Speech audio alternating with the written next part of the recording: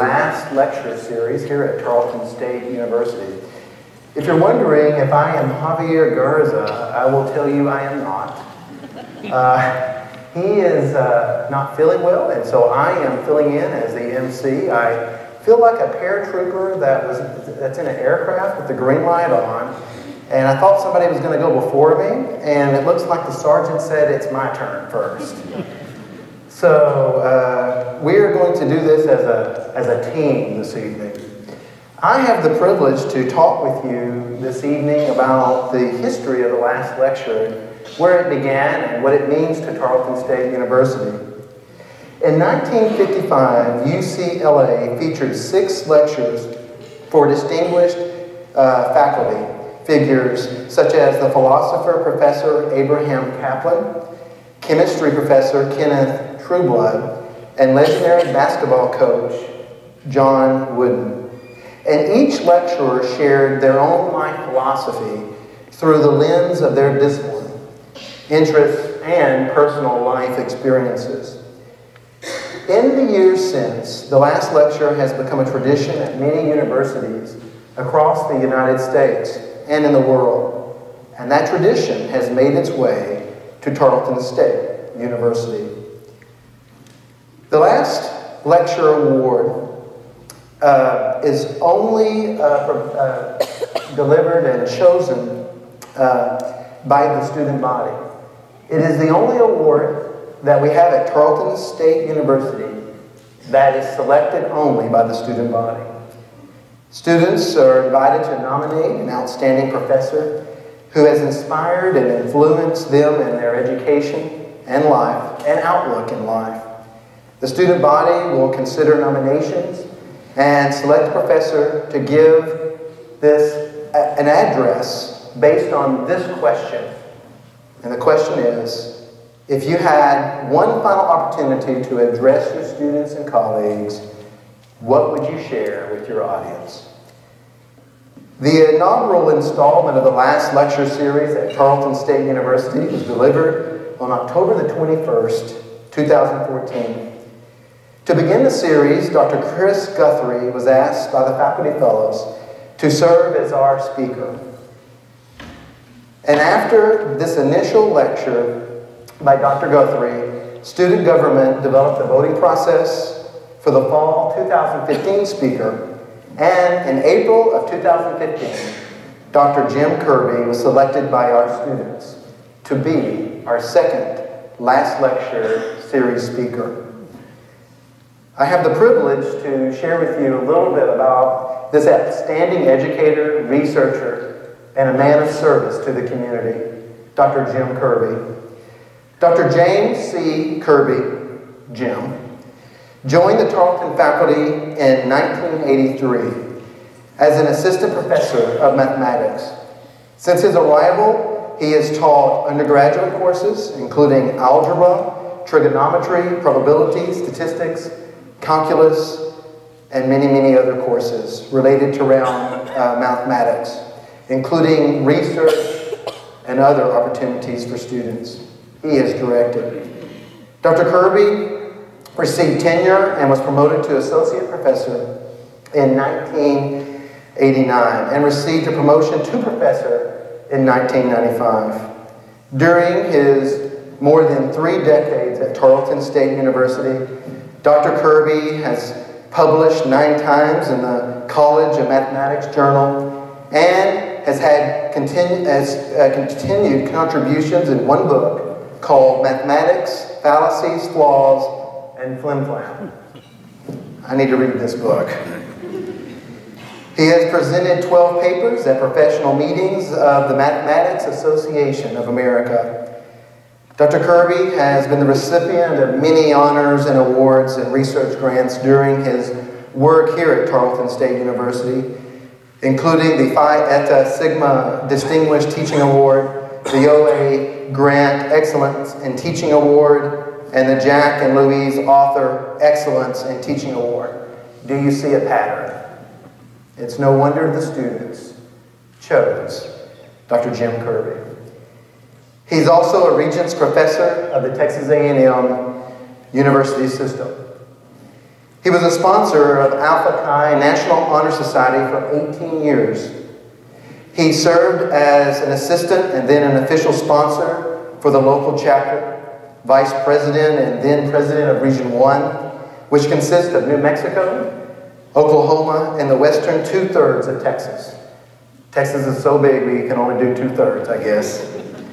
And finally, as a member of the National Council of Alpha Phi Chi, under his sponsorship, the local chapter was chosen um, as the outstanding chapter in the nation out of all the chapters in 1997.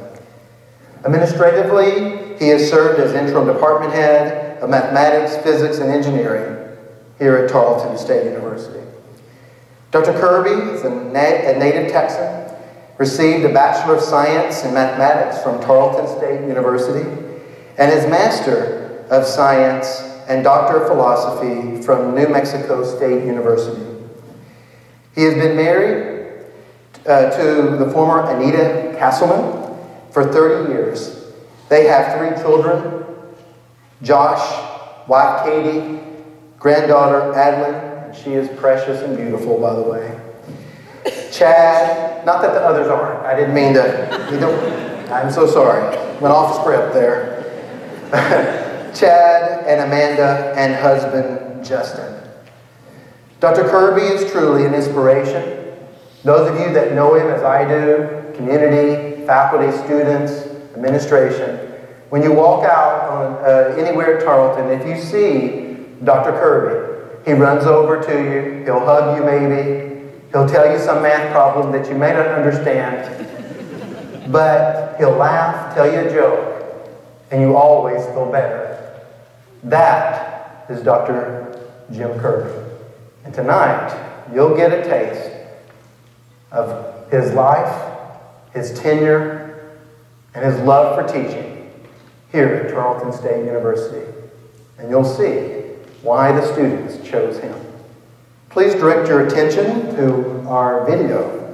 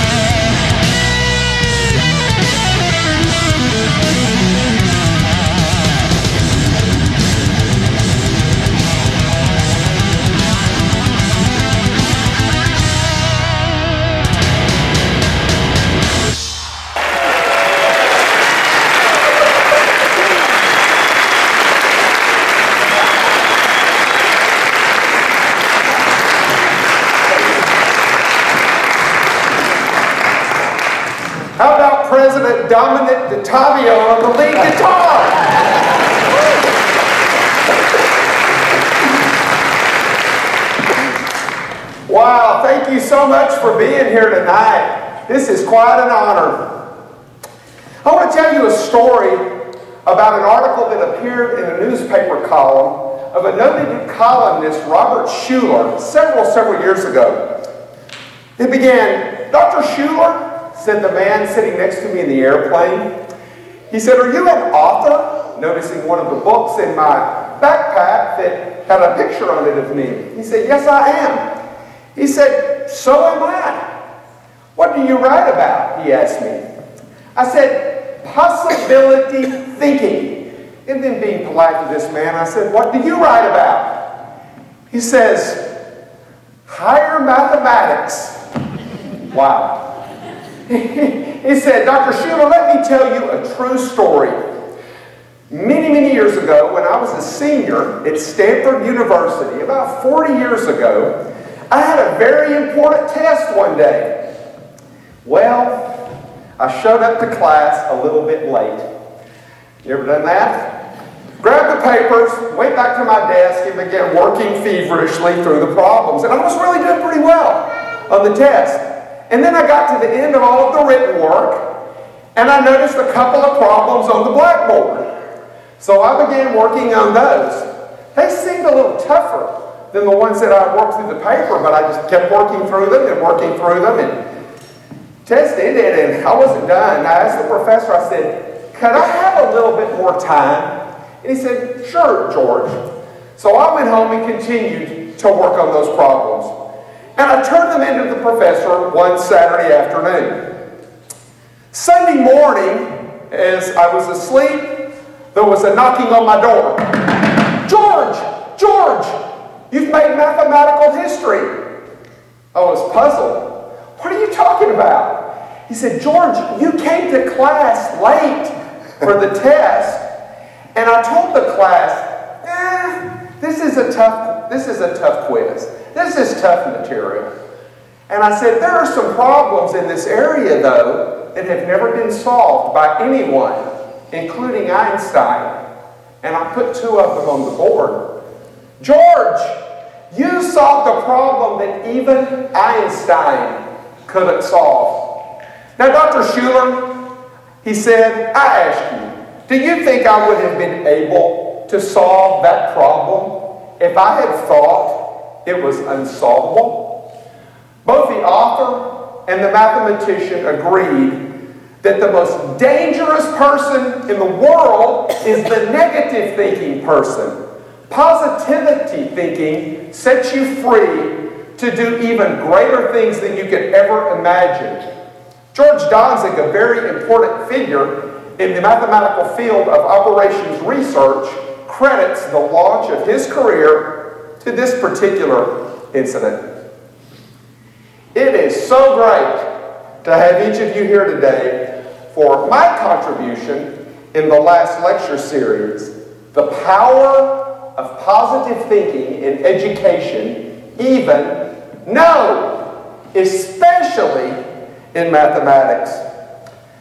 I would like to thank all of those who have contributed to my teaching career here at Tarleton, but if I named all of them specifically, we would be here all night. But I do want to thank several.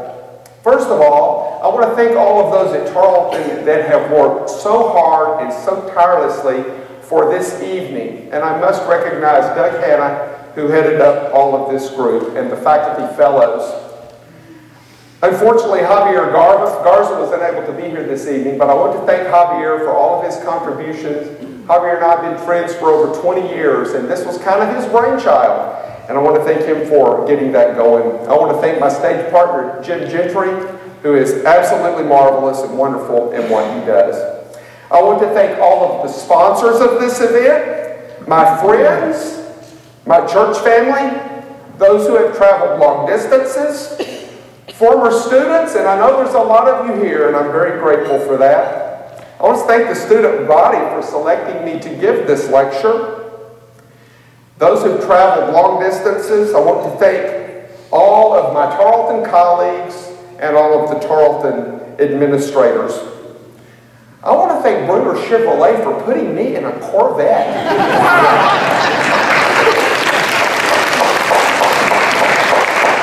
Wow, that was awesome. My wife said, you better enjoy that because I don't want you going through midlife crisis. You may not get in another one of those. But I like that. That was a lot of fun.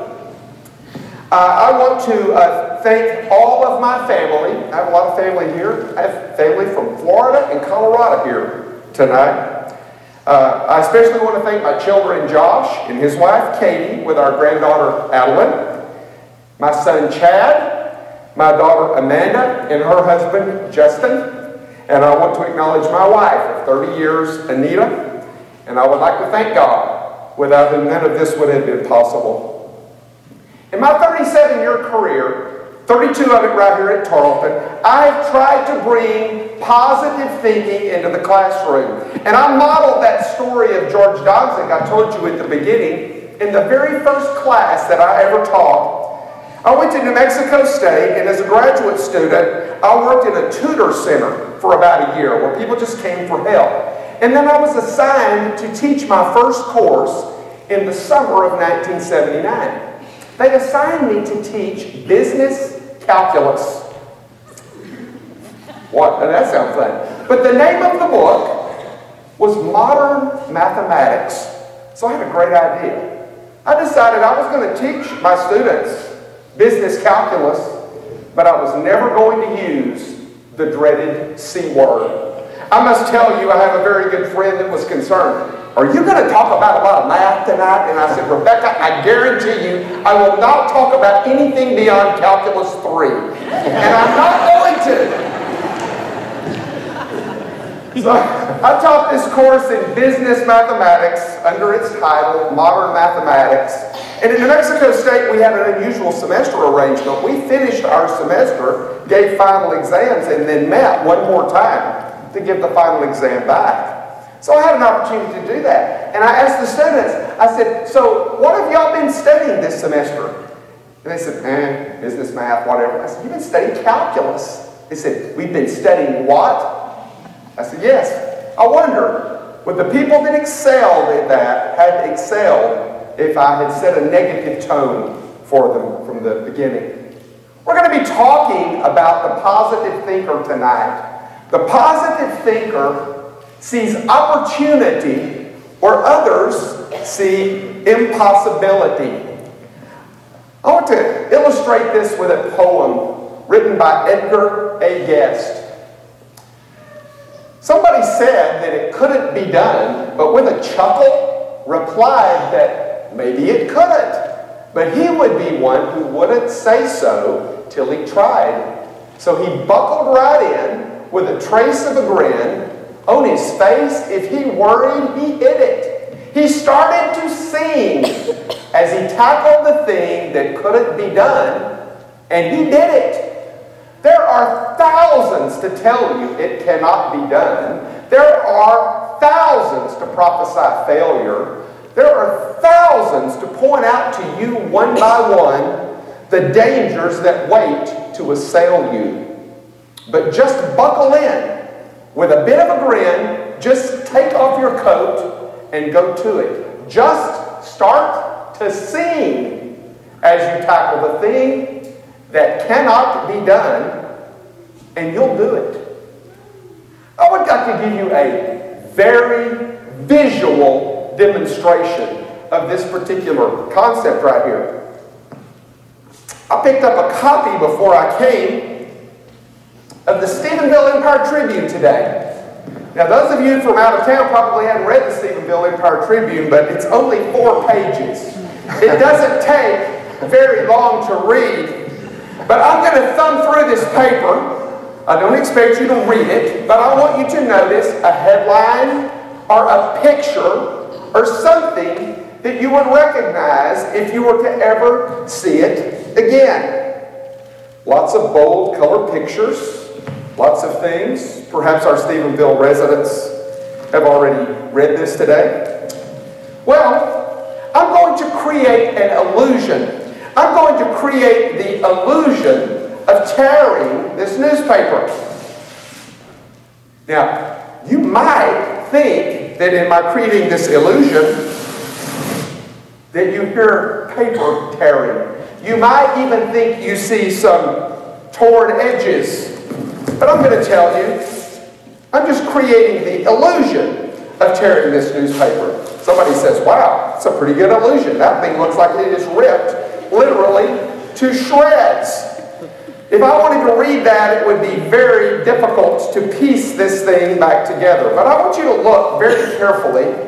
Part of my illusion just appeared to drop to the stage floor. I will pretend to pick part of my illusion up. I did this on this very stage about 30 years ago when the Cross Timbers Fine Arts Council sponsored an event called the Fine Arts Follies. It was a local talent show. It was so much fun.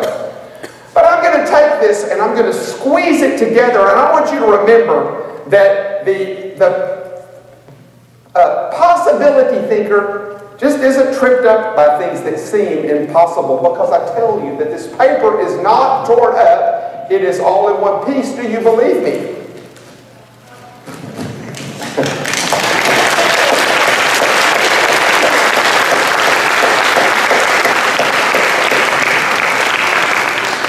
Do you believe me now? Impossibility thinking is negative. Possibility thinking sets you free. I would like to suggest to you that the positive thinker says, not yet when others say never. The work which George Dantzig did, you have all actually profited from many times. For example, when you have flown on an airline, you've experienced the proper construction of an airline schedule. This moves people to where they need to be in the most efficient manner. This subject is called operations research, or also known as optimization. It's all about getting the most out of the least based upon the resources available. A famous unsolved problem in this area called the traveling salesman problem, actually now more politically correct referred to as the traveling salesperson problem, abbreviated as the TSP so you don't have to commit, has to do with the... the TSP has to do with what order you should travel to a group of cities in order to accomplish your sales for the least uh, amount of travel costs. Well, I call it an unsolved problem because nobody has ever been able to figure out a way to determine this on a state-of-art computer in a reasonable amount of time for a large number of cities. This is important in areas like manufacturing when you want to drill a bunch of holes in a piece of sheet metal and you need an order to move from hole to hole. You actually solve a version of the traveling salesman problem every time you go to do errands in town. Because you're going to go here and you're going to go here and you try to do it where you're not traveling as much. Now you're going to laugh at me, but I solve a version of the traveling salesman problem every time I mow my yard. That's because I mow with my riding lawnmower, then what do you got to do? Get the push mower and mow around all the trees. So you need an order to move around the trees. Well, I just moved to the nearest tree. Now, that's actually one of the methods, methods for approximately solving the traveling salesman problem. It's, called, it's got a name. It's called the nearest neighbor algorithm. But I like to get the most out of the least. I think probably I got interested in operations research or optimization because I am an optimist. Give me lemons, I want to make lemonade. Some of my favorite sayings are don't say the sky is the limit. There are footprints on the moon. And the problem is not that we aim too high and miss. The problem is we aim too low and hit. The man that believes that he can do something is probably right. And so is the person that believes he can't. Picture this. It's a great story. Man's running from a bull. He is running as fast as he can. And he notices a cliff in front of him. He is in big time trouble.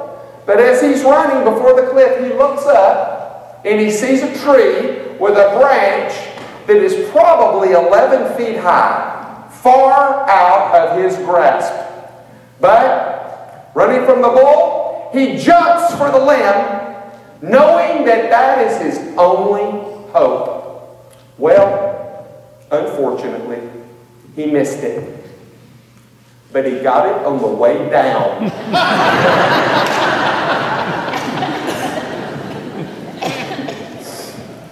the positive thinker tries another way rather than giving up. In talking about the way a number of things can be done, I feel compelled to relate to you a story that happened the first semester after Anita and I got married. I was preparing notes for a class, and there was a problem in the book. It said, a man has five shirts, four, four pair of pants, and six pairs of shoes. How many possible outfits does he have? My newlywed wife, upon hearing that, said, What colors are they?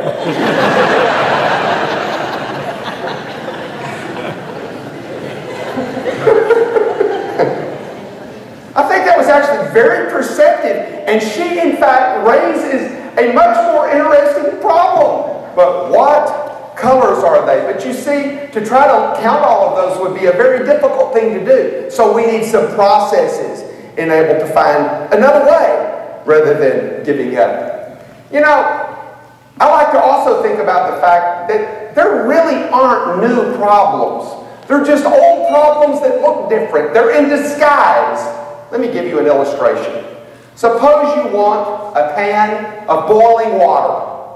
Maybe you want to cook a hard-boiled egg. By the way, if you're a new cook, you should know you put the whole egg in the water. You don't crack the egg into the water. I've actually seen that done. But let's suppose that all you knew how to do in cooking was if there was a pan of water on the stove, you could turn the stove on. Eventually, you would have a pan of boiling water. Okay? Now suppose you walk in a room and you see a pan of water in the sink and you want a pan of boiling water. This is not a new problem. It's an old problem disguised. Simply take the pan of water and put it on the stove. You already know how to do that problem. Further, suppose that you walk into that room and there's an empty pan in the sink and it's under the faucet. This is not a new problem. It is an old problem disguised. Simply fill the pan with water. You have seen that problem before. This idea can obviously be continued indefinitely. There are not new problems. There are just simply old problems that are disguised. Uh, I'm often called by someone from the community asking me how to do a problem. It's a kind of a neat deal. You know, we're a university. Somebody calls the university, hey, I need to know how to do something. And they are transferred to the appropriate department. And I've answered many of these calls. Well, I enjoy that. The first thing I do is get a sheet of paper and work the problem with them on the phone. And when I'm done with it, I, I like to write the name down, date it, and then go take that problem and file it in the appropriate course where the material was used to solve the problem. Then guess what? When I'm in the classroom teaching that class and some student says, what am I ever going to use this for? Well, it turns out that on January 13th, 1988, I got this call. it was about 88, I got a call from a gentleman in a neighboring town. He was framing a roof. This roof was to have three and a half pitch, which meant it was to rise three and a half inches for every foot that you moved over. That was unusual. Roofs of that slope are typically three pitch or four pitch. And this gentleman said, I've taken the numbers on how to frame the rafters for three and four, and I've averaged them, but it doesn't really seem to be working. Well, I explained to him why that didn't work, and then I gave him what he needed, in order to find the numbers that he did. Oh, he was so happy. He said, Thank you so much. You have saved me from climbing about 20 roofs over here. I said, I'm really glad that's helped you. I haven't given you my consulting fee yet. After a few moments of nervous silence, I, I did tell him that my advice was free. Another really interesting thing to me about mathematics is that there are different ways of doing the problem that gives the same result. So we can seek an easier way to do it. I was studying through the stations one night, channel surfing, and I saw this old episode of a, Are You Smarter Than a Fifth Grader?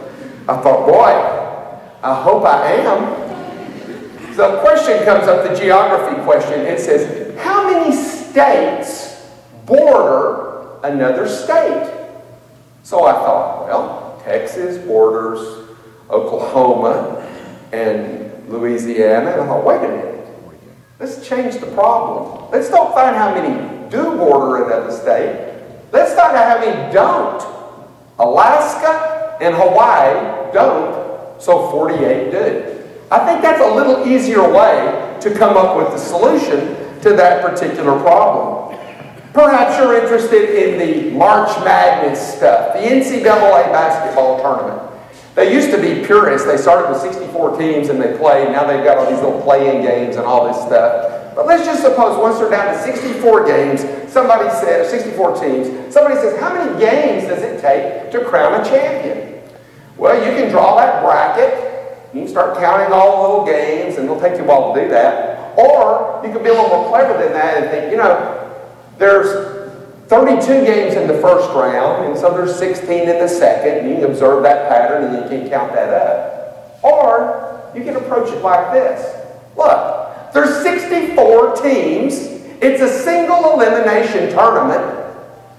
Everybody loses a game except the winner. So there are 63 losers and one winner. To get a loser takes a game. So there's 63 games. Two ways to solve the same problem, another way rather than giving up. One of my favorite examples of this was a very, very young German mathematician. His name was Carl Friedrich Gauss. Gauss went in the first grade. His teacher wanted some time to do some work and assigned the kids the task of finding what the numbers 1 to 100 add up to. Surely that'll take them a while and I can get the grades average and everything. But little Gauss said, wait a minute, I don't want to add all that up. One and two is three, three and three is six. That's going to take a long time. But he said, wait a minute. The first number is one, and the last number is a hundred. If I was to add those, I get 101. The second number is two, and the next to the last number is 99. If I add those, I also get 101. Wait a minute. Every time I add them, I'm going to get 101.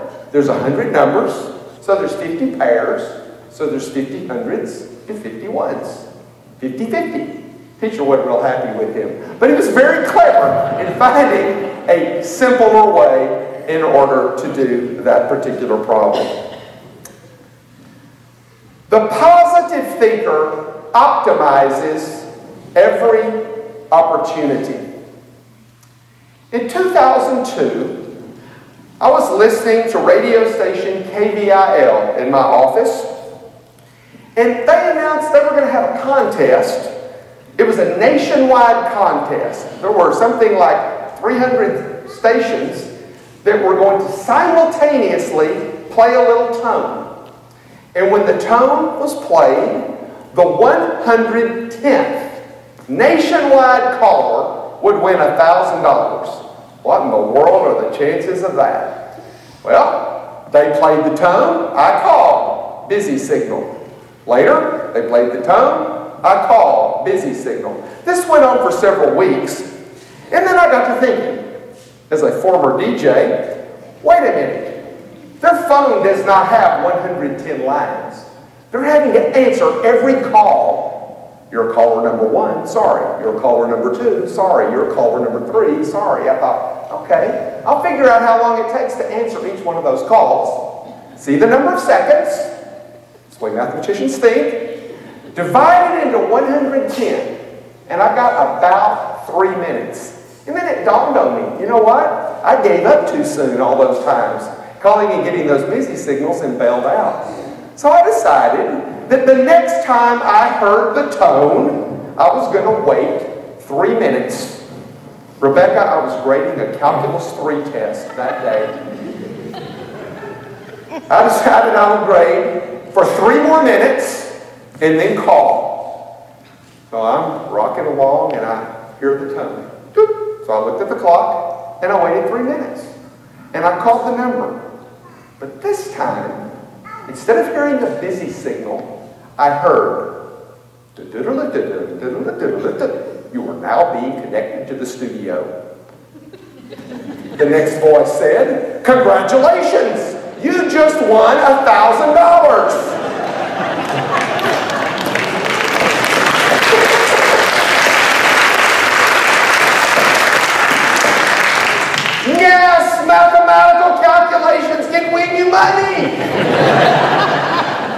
Oh, that was great. One Friday afternoon in a business mathematics class, I had just taught the class how to calculate a loan payment. Calculate the payment on the house, on the car. And so, this one young lady, after learning that formula, said, Dr. Kirby, the formula that you gave us said that my trailer payment should be more than it, we're actually paying. Boy, she started getting advice from the class. Well, don't say anything about it. well, desiring to teach a lesson a little more important than mathematics, I said, you know what? You should contact that loan company as soon as you can. Monday afternoon, she comes in somewhat red-faced. She said, I got a letter from my loan company this weekend. We're $800 behind in our payments. Come to contact, catch things like that early, make sure you pay it the right amount of money. The positive thinker optimizes every opportunity. A blonde walks into a bank. My wife's a blonde says, I want to borrow $5,000. Loan officer says, okay, we're going to need some security.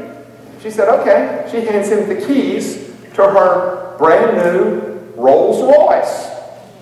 I hadn't ridden in one of those either. So it's parked out on the street. So everything checks out. And they drive the Rolls into the underground parking lot. She gets her $5,000 and off she goes. And all is great. So she comes back in two weeks, pays the $5,000 and her interest, which came to $15.17. And the loan officer says, I'm a little confused. While you were gone, we checked you out and found out that you are a multi-millionaire. Why in the world would you bother to borrow $5,000? She said, well, where else in New York City can I park my car for two weeks for 15 bucks?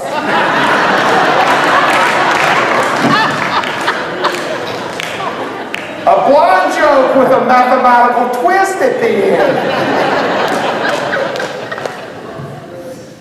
A young mother brings her baby to the doctor. She's frantic.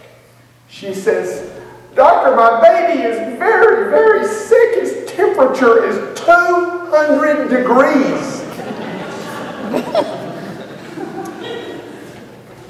Dr. Schaefer said, Ma'am, how did you figure that? If your baby's temperature was 200 degrees, he would be, she would be very sick. She said, I know, he is.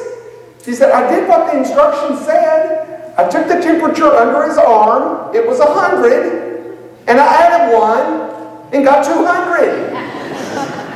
yes, a blonde joke with a mathematical twist at the end. Mathematics is, in fact, everywhere. Well, I want to suggest to you that the positive thinker finds an easier way to do things. I was assigned many, many years ago to teach a quadriplegic in mathematics, a very fine young man who's actually here tonight. And I decided that I needed to find some things that he could do totally mentally apart from a helper that was assigned to him to be able to write for him. And so there's a lot of rules of thumbs in mathematics, so I thought I'm going to skill him in many of these. I'll share a few of you with them. And what I did is I took those and put them on a test and let the other members of the class do it as well. And he did better than they did in mastering those rules of thumb. One of them is converting temperatures from centigrade to Fahrenheit. The rule to do that says multiply the centigrade temperature by 9 fifths and add 32. Try doing that mentally. Now, it's not very easy to do mentally. Well, the rule of thumb says, hey, don't, don't multiply by 9 fifths. Multiply by 2. That's a little too much. And don't add 32. Add 30 to compensate for it. So you double it and add 30. So the next time you're driving by, say, Gilbert Intermediate, and it says it's 20 degrees centigrade outside, think to yourself, 20 times 2 is 40, plus 30 is 70. It's about 70 degrees outside. A very powerful rule of thumb. Another rule of thumb has to do with how long money takes to double. There's a rule called the rule of 72 It gives an approximation of how long it takes money to double. Divide the interest rate into 72 and you get the number of years. For example, at 9%, it takes money about eight years to double. You can use the formulas and calculate it exactly, but you can get an estimation of it. And how many of you looked at your amortization table on your house loan and noticed that almost all of your first payment is interest? Well, that's a little depressing. It's going to take you forever to pay the house off. But it's really encouraging when you look at the last line and it's almost all the principal. So if you want to approximate the house payment, calculate the interest, and just add a little bit more. That's a rule of thumb that allows you to do that. The positive thinker finds an easier way to do things. I want you to notice that in telling those rule of thumb, I didn't use the word simply. I didn't say simply double it and add 30. I didn't say simply divide it into 72. And I didn't say simply add a little bit of interest because you know what I believe? I believe that in addition to not saying something is hard, as I talked about at the beginning, it's also very important not to say something is easy. Because what if you can't do it and it's easy? That's pretty depressing. And what if you can do it? What have you accomplished? It was an easy thing to do. So I think those are very important concepts in that area. Mathematics is really it's just all about patterns. One of my favorite, earliest memories of observing pattern was in Miss Bradley's fifth grade music class. You know what? I've got three of my high school classmates here tonight. Miss Bradley was at South Elementary in Brownwood, Texas. And Miss Bradley taught us what was called the circle of fifths. The circle of fifths said you could locate how many sharps and flats there are. Would tell you what the key was. But I noticed, stay with me here a moment, I noticed that if you took the number of sharps and multiplied by 4, and then subtracted 7 as many times as you can, it would tell you how far to count from C to get the key. For example, 2 sharps, multiply 2 by 4, and you get 8. Subtract 7 and you get 1. Counting 1 from C gives you the key of D. D is the key with two sharps. You know what I remember? I remember Miss Bradley looking at me the way that many of you are looking at me right now. I did, I did go on to tell her that for flats you multiply by 3. Still works. The positive thinker finds an easier way to do things. Patterns are also good for memory aids. For example, how many of you can name the Great Lakes? Well, if I tell you the little keyword HOMES, Huron, Ontario, Michigan, Erie, Superior, that's the Great Lakes. That's the acronym. I learned at a very early age to associate things, to remember things, and the acronym is such a great way to do that. Recruitment is so important at Tarleton State University. And you know, it's pretty important to know where everybody comes from here. And you know, you're not going to learn where everybody comes from here without some sort of a memory aid, some sort of a trick. I went over to the registrar's office the other day and I, I said, can I see the database where everybody is from? It looked at me kind of funny. Uh, Dr. Kirby, what do you want that for? Well, I need to learn where everybody's from here. Really? So I looked at that a while. I found out, you know what? We have students here at, at Tarleton on, on this campus. We have students here from Waco, Hico, Hondo, Navasota, Winnsboro, Jacksboro, Hillsboro, Santa Rosa, Austin, Houston, Galveston, Texarkana, Frisco, Buffalo, Conroe, Corsicana, Goliad, Groesbeck, Glen Rose, Red Oak, Posto, Oak, Krugerville, Pflugerville, Van Horn, Valverde, Decker. I guess I could keep walking. We have a lot of students here. We've got far-reaching coverage with all of this. You know what I've also found is that people are amazed with date patterns. Have you noticed that? There'll be something come up, oh, this is this is so this will never happen again. Of course, I guess if you've been waiting for it for 40 years to happen, that's pretty cool. It'll never happen again. For example, uh, December 12th of 12 is 12, 12, 12. Hey, that's pretty cool. My favorite date pattern occurred July the 8th of 1990. July the 8th of 1990. ABC News reported a week in advance that at 12:34 and 56 seconds, 7, 8, 90, the digits would read on a digital watch 1, 2, 3, 4, Five, six, seven, dash, eight, dash, nine, oh. There they all are. that particular day was a Sunday. My family and I, Anita, Josh, and Chad, Amanda wasn't born yet, so she didn't get to enjoy this. Along with my sister Robin, who was a college student here at Tarleton at the time, we're eating lunch at Mazzio's Pizza. I set an alarm on my watch.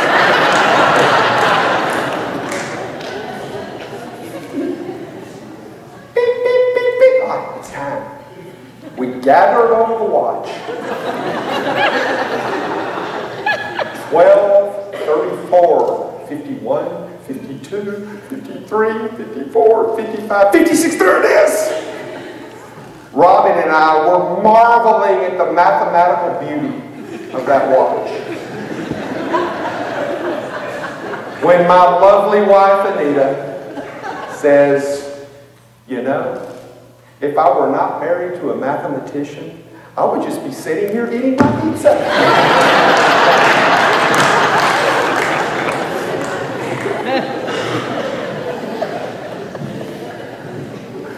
the positive thinker realizes that there is a big picture. It has been my goal over the years to find any way that I can to motivate a student. Of course, the best way is to find something in their field to which the, the topic relates. That goes back to the files that I create based upon phone calls. But sometimes a student just needs a little encouragement. I once had a Stephenville High School football player in class that was struggling to pass my course. As we were going into the final exam, I thought of a way to motivate him. Because I remembered a game in which the team was playing that found us badly down at halftime, playing a much inferior team. I think it was Weatherford. it was the result of winning a really big game the week before over Brownwood. And uh, I asked him, I said, well, y'all came back and won that game. What happened at halftime? He said, oh, the locker room was pretty intense. He said, people were yelling and screaming. He said, in fact, I beat up a guy that wasn't as serious as he ought to be. well, that team went out and won that ball game. based upon that intensity. And I told this fine young man, I said, I want you to remember the drive it took to win that ball game. And he looked at me and he got that game face on and he gritted his teeth and he said, I can do this. You know what the best part of that story is? He did it. He was motivated by that and he did it. It reminded me a lot of the movie Stand and Deliver, which if you've not seen that movie, I highly recommend it. It's a story about a teacher named Jaime Escalante that was able to teach calculus, yes, calculus, to some minority students that had never been successful. In that movie, he says many times, You can do it, you can do it, you can do it. And the moral of that story is they did do it. They were able to do that. A good moral of that summer story is summarized by the saying, if you think that you have been asked to do the impossible, please don't disturb the person next to you that is doing it. Perhaps that's the best thing for us to remember about any difficult situation in life is that we can do it. Mathematics is certainly an area in which this can be applied. Mathematics has been a big part of my life. I have taught college mathematics for 37 years. It has paid my bills. I have been interested in mathematics since grade school. I know I'm in the minority in the room, but I genuinely love doing mathematics. It is a great discipline, and it has changed the world. This room wouldn't stand, your cars wouldn't run, and your phones would not text without mathematics. and though mathematics has been a big part of my life, mathematics has never been my life.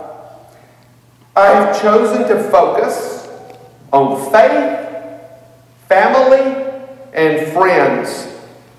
When my children were younger, I chose to rarely bring home work so I could spend my evenings with my family. I have chosen to teach only one summer session for many years so I could take vacations with my family and volunteer at summer youth camps, an extremely rewarding experience. Even as I have taught mathematics, I've tried to forge relationships with students, and many of these relationships have continued for many years. These opportunities have enriched my life in ways that mathematics alone never could. Whatever your discipline in academics, whatever your work, there is always a bigger picture. Remember the power of positive thinking, even no, especially in mathematics, and in fact, in all that we do. Yes, you can do it. Thank you very much.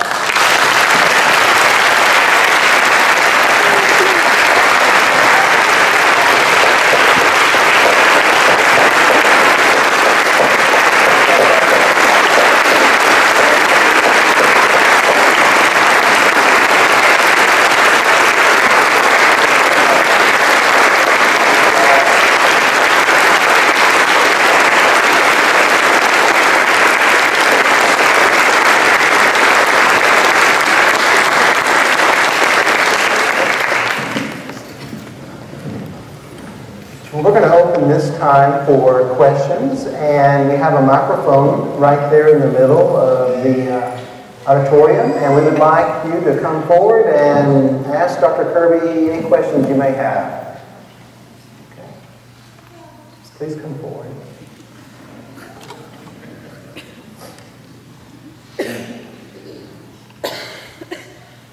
I'll have to start making up questions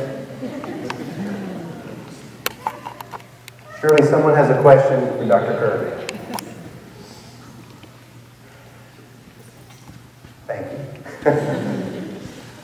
Dr. Kirby, Yes, when did you first uh, get interested in doing magic tricks? I was about four or five years old.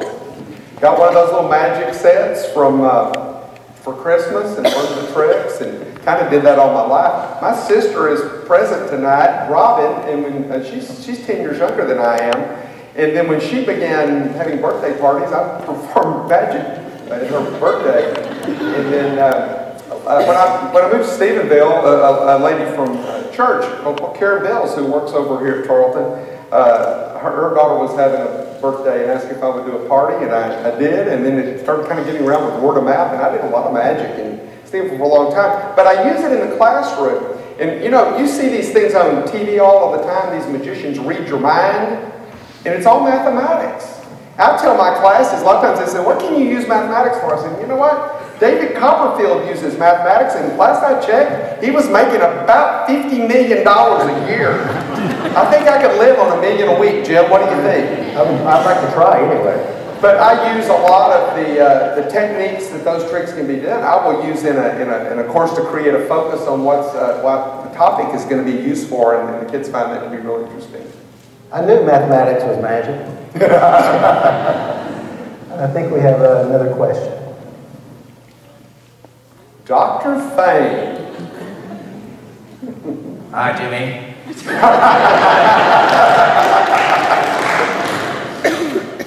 Could you tell this audience about the paper you gave at an Alpha Chi convention and why you gave it? Say that again now? I'm sorry? You gave a mathematical Oh, okay, I got you. I got you. Convention. I was a student in Tarleton from 1975 to 78, and in 1977 I was inducted into Alpha Chi. And Alpha Chi does conventions, which uh, Jim mentioned, a lot of the conventions I've sponsored. And uh, so anyway, as a student, uh, I, I wanted to take an overload in a class. Needed to take 19 hours, and Dr. Fain was the Dean of Arts and Sciences at the time. He'd been trying to get me to give a paper, to go to an Alpha Chi convention and, and give a paper. And so this one particular day, I said, Dr. Fain, I need your signature on this override card. He said, hmm, I'll sign that if you'll commit to present a paper at the Alpha Chi convention. so I did, and he did, and I presented, and I won $500 for that.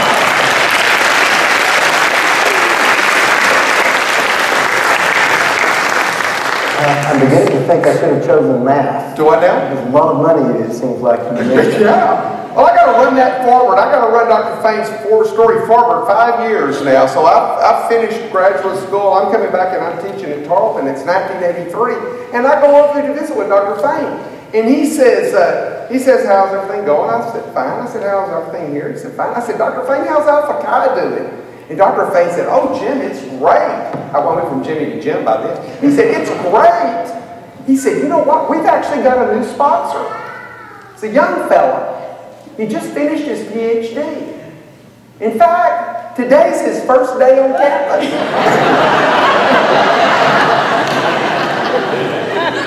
well, that was the beginning of a 20-year run. It was pretty great. Dr. Fain's a motivator, isn't he? yes, please. All right, so I don't believe, is Hotel California your favorite Eagles tune? If not, what is? And then share uh, at least one great experience at going to an Eagles concert. Oh, how great is this question? Well, first of all, I mentioned Doug Hanna and the incredible work Doug has done with this. And so Doug and I sat down to brainstorm how we wanted to uh, intro the show tonight. And uh, wind blowing through your hair, of course, really for me, that's kind of hard, but that I said, Doug, I I like Hotel California. Uh, Chris used a lot of Metallica in his last lecture speech uh, last year. Uh, but I said, I, I think I'd like to do Hotel California. And I said, I'll tell you why. In November of 1976, I went to see an Eagles concert. And I'd never seen one before. I've seen them four times now. But they, they, they were playing for a while, and they said, you know what, we're gonna, we're gonna play something for you new. We've, we, we'll play something for you new. It's a little song called Hotel California. So the first time I heard that song was live. Now doing a little research years later, I found that that's actually the first time they'd ever played that song. So we just thought that was somewhat fitting. Now I have another favorite, favorite, favorite Eagle song, is Take It Easy. And one of the reasons Take It Easy is one of my favorite songs is a line early on in that song, standing on a corner in Winslow, Arizona. Well, my wife and I last year took a trip to Arizona, and I thought, Arizona, what a ugly state. Oh no. Get to the western part of Arizona, it's gorgeous. But on the way, we stopped in Winslow, Arizona. I said, let's go stand in a corner on Winslow, Arizona. well, lo and behold, you get into Winslow and there's signs. Standing on a corner, four miles. So they got this one place that's dedicated to stand on the corner. There's a statue of Jackson Browne, who wrote the song, and you can pose with the statue standing on a corner in Winslow, Arizona. Love it. Great song. Yes, sir. Dr. Kirby, how are you? Is that Amari Martinez? wow, and then a great former student. So, a question for you. Uh, what are some of the things that some of your students have done that have drove you nuts? That's a loaded question, sir. That's a great question coming from a great source. Students that don't come to class. Amari, Amari, when were you in my class first? 20 plus years ago, probably? Uh, 10. 10, oh, well, okay. Murray, Murray didn't go to class. so he goes off and he does these things and he starts working at Chamberlain Elementary where my, my wife is the registrar. And this one particular day, Murray comes up to Anita and says, Mrs. Kirby, how are you doing today? Can I do anything for you? She's really nice to her. She said, what is going on? He said, I've got to go back up there and take your husband. so I said, she said, go to class. But one day Mari wasn't in class, and I found out why. It was the old, I set my alarm for PM instead of AM. you ever heard that, colleagues? I'm going to use That's a pretty good one. Amari, if you don't know Amari, he, boy, he's a great computer guy. My house wouldn't work without him working on my computers. Yes, sir. Well, Dr. Kirby, I've got a question for you. So, uh, you know, with school starting back, everything's been busy. And Is that Cody Gill? It might be. And so you, have, you have no time, you know, you, you, you're dedicated to students, you're dedicated to family. But I have to know, when did you and Dr. Ottavio have time to play guitar like Joe? I have to know that. So, anyway. But I really do, real quick, want to thank you so much. You took, uh, I was a traditional student, then a non-traditional student, and uh, in every sense of the word, and uh, came back. In the first class I came back, I had Dr. Kirby uh, when I uh, graduated high school for algebra, and then I left college went and played music for 10 years and came back. And the first class I had was Dr. Kirby's trigonometry class, and I he probably talks about how terrified I looked because I was scared to death. And he walked in, and everything seemed to be all right. So I do appreciate everything. You gave me Thank a you, chance to go back. Thank you. Cody, if you're not familiar with Cody's work, Cody, Cody's traveled all over the world playing music. He's got lots of CDs. He's a great musician. So Dr. Datavio, we, we bow to him. He's a real musician. But, you know, I, I guess one thing about, Dr. Fain mentioned Alpha Chi. One of the things I loved about Alpha Chi, I looked at a lot of transcripts with Alpha Chi. If you're not familiar with Alpha Chi, it's top 10% of the junior and senior class. And then the bylaws allow you to actually cut that off a little higher. And at Tarleton, we actually did cut that off a little higher a lot of the times. But you look at these transcripts, and this was my favorite transcript to look at. F, F, F, D, W, F, F, F, C, W, tenure gap. A, A, A, A, A, A, A, A. The non-traditional student, and I asked this trivia question, I love it, I asked a lot of class, what's the average age of the Tarleton student? And I haven't looked lately, but for a while it was 26. You know, you think, okay, 18, 19, 20, 21, about 21. No, it's the non-traditional students, the people that, you know, they get out and they see what it is they want to do. And that young man is such a classic example of that. And, uh, he, and he came back, and, and we have, I've talked about forging relationships with students. Uh, students, Cody and others like that, that's what's so much fun to see uh, that development. I got to Cody in concert at the park the other day, and, and uh, that concert wasn't really well advertised. I, we almost got a private show. It was great because we could, we could converse about stuff like this. But uh, go hear that young man if you can. But uh, non-traditional students, wow, it's an amazing, amazing thing. Go ahead. Hello. Hey, Jamie. Hey, how are you? Hi, Jamie. Um, I was wanting to know, every time I see you, you're always smiling, and so I will miss seeing that every day. Um, but my question for you is, what is your most memorable moment here at Tarleton? Wow. My most memorable moment at Tarleton. You know what? It's happening right now.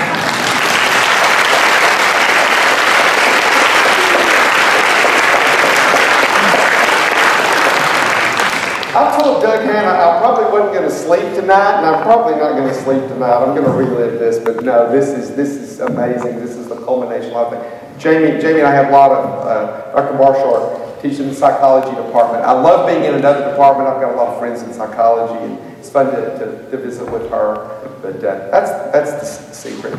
Yes, sir. You have uh, something that you do Sunday evenings, quarter till six. And can you recite some of those? One is stating the books of the New Testament backwards. this is Alan Yeager who, visits over with us, but okay. Um, you know, I, I, guess I better preface this a little bit. This, this was a little routine I did at camp many years, and, uh, and when you see this, you'll say, mm, he has too much time on his hands. it's tricks. Watch this. A, B, C, D, E, F, G, H, I, J, K, L, M, N, O, P, Q, R, S, T, U, V, W, X, Y, Z, Y, X, W, V, U, T, S, R, Q, P, O, N, M, L, K, J, I, H, G, F, E, D, C, B, A, Z, B, Y, C, X, D, W, E, V, F, U, G, T, H, S, I, R, J, Q, K, D, L, O, M, N, and so forth.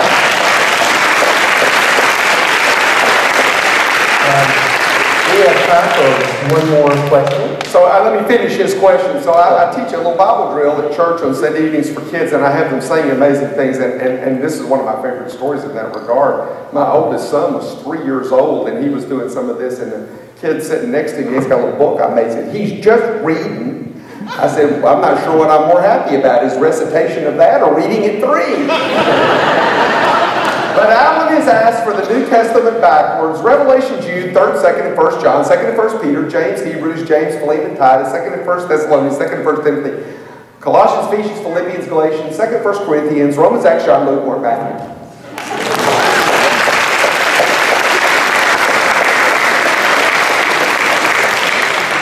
Thomas Holder. What was funny was I was going to ask you to recite the alphabet. um, but I guess I, I, have a second one then. Uh, and you don't have to recite it, but how many digits can you uh, go with the uh, pi, 3.14? How far can you go? I can do about 30.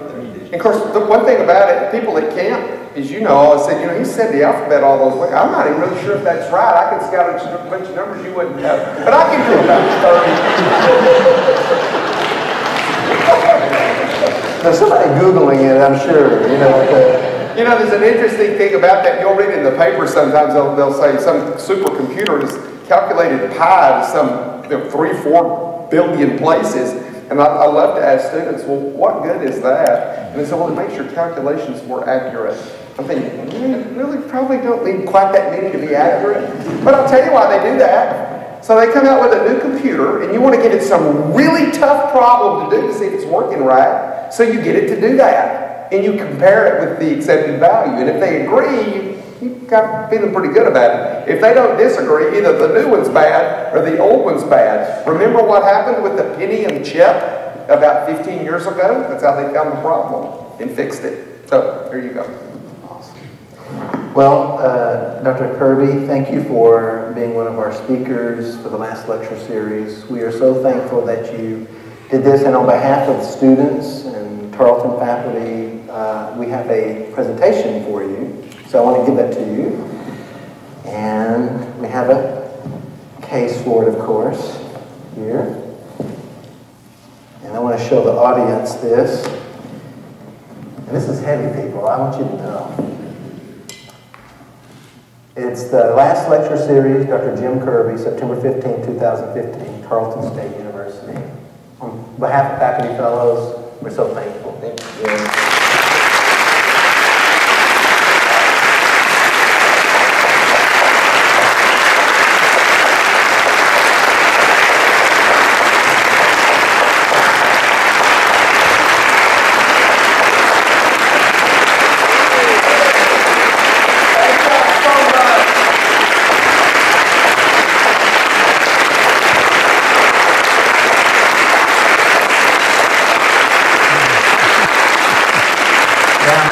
Now, we're not done yet. We're not done yet. Okay? So uh, we have some other presentations for you as well. Yeah, so I believe Dr. Pierce is going to come to the stage.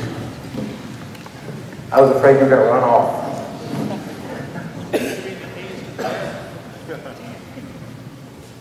He's coming. There he goes.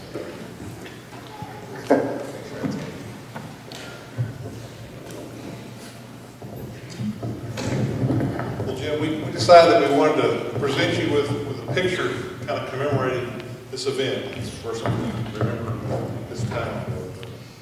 The picture of the Wow. invitation. We brought it around and had a bunch of the faculty sign it. Unfortunately, my mistake was I didn't make a large enough margin where they could tell the story they all wanted to tell. So probably what you need to do is to go around and talk to all these people that signed this, and they all have their own stories about you that they wanted to share. We're really proud of you. Thank you very much. What, what you don't know is on the podium, there's going to be many of these people that I've got some funny story written. So if I started to get really emotional, I could read that funny story and get me through. And fortunately, I didn't need that. But uh, all these people on here represent so much to me, and just some what we have an incredible group of people to work with here. It's, it's just such a joy to be here. Thank you, Dr. Pierce. Thank you.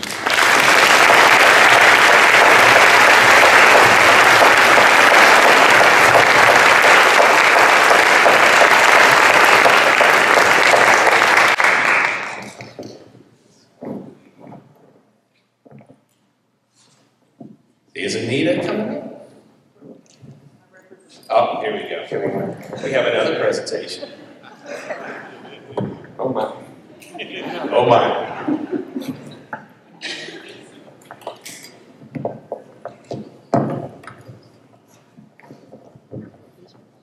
Many family and friends here, and uh, I'm Dr. Kirby's oldest son, and this is his granddaughter, Adam. And so, You're uh, giving me, you're giving her to me. from 10 p.m. to 6 a.m. every day.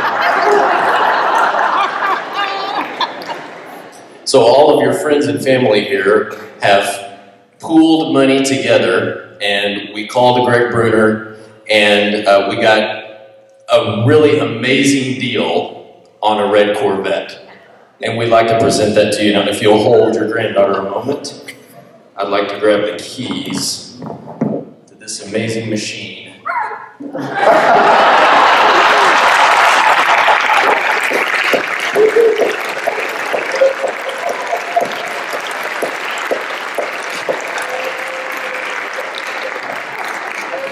Thank you, Greg, for that deal. Amazing.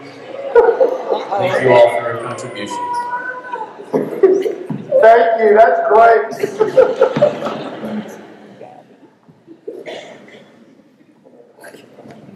I just noticed that, uh, I think the funniest thing for me was when you were in the car, the, uh, I only saw that you went like maybe five miles per hour. I was noticing numbers, I want you to know that. I was noticing numbers. Can I tell a quick story on Greg Bruner? Uh, Greg Bruner told me a long time ago, he said, Jim, If you can take a car on a test, test drive and make it disappear, I'll give it to you. So we were in a restaurant with his kids. His, his son and daughter graduated with our son Chad and daughter Amanda. And I said, Well, Greg, could I put a sheet around it? He said, Yeah. I said, Could I raise the sheet eh, 12 inches off the ground? And he said, Yeah. And He's thinking, wait a minute, is he taking me seriously here? His son Kyle is just rolling in the floor. So are we going off in this? So I was getting ready to buy a car from Breakers, and I, I took it on a test drive, drove it around the little thing. Park, wanted to park it and come back. Greg, I don't know what happened to the car. It's gone, so I guess it's mine if I can find it. He backtracked on that one. Um, we have a reception outside in the lobby, uh, and uh, the Kirby family will be joining you shortly. We do ask that the Kirby family will come up on the stage right as we dismiss, uh, so that we can have photographs uh, with uh, with your whole family to remember this event. Thank you, Dr. Kirby. Let's give him another hand.